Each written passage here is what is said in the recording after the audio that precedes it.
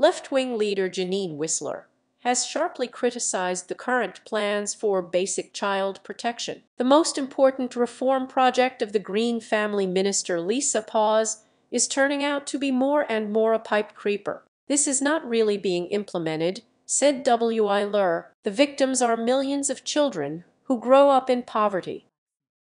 The dispute of the ruling parties will be carried out on the backs of the poor children in this country.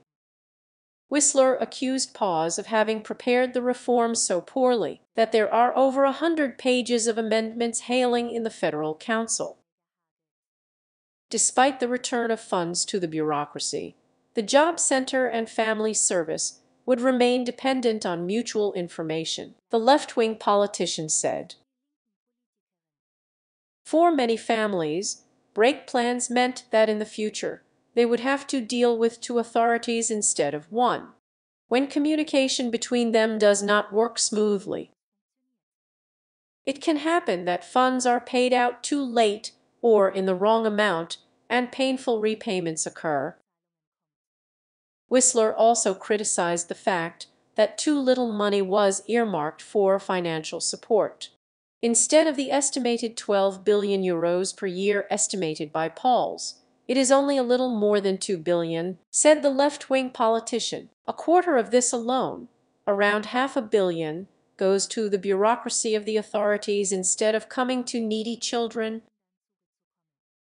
The impact of Paus's proposal on the poverty rate would be minimal, at best a change in the third decimal place. For a noticeable improvement, a significantly higher level of financial support is necessary, said Wissler. She spoke of a fatal and short-sighted savings and strike policy of the Traffic Light Coalition. Those who save on the support of children today will have to make up for the deficits later.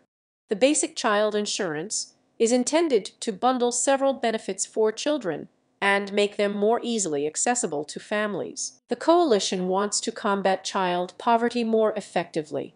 The corresponding bill was discussed for the first time in the Bundestag in November, but the legislative procedure has stalled. Many details of the implementation are still open.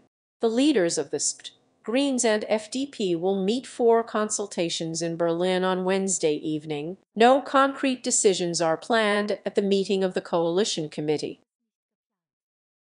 Finance Minister Christian Lindner had called in advance for a revision of the plans of Family Minister Paus for a basic child insurance. The president of the German Child Protection Association Sabine Andresen, was also not satisfied with the draft law on basic child protection.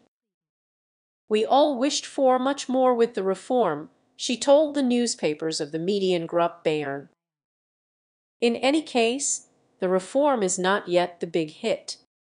If the entry is not even possible now, then that would be fatal, Andresen said. Among other things, she called for a recalculation of the child's subsistence minimum.